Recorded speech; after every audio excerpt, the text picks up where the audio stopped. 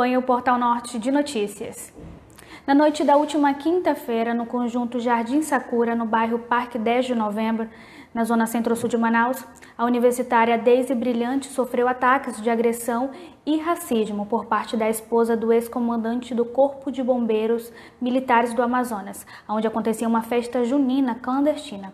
A mãe da jovem foi questionar o ocorrido é, do que havia acontecido com a filha e acabou sendo agredida também. Quer saber mais sobre essa notícia e assistir o vídeo do ocorrido?